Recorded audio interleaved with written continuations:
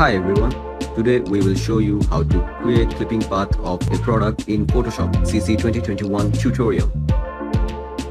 Let's get started.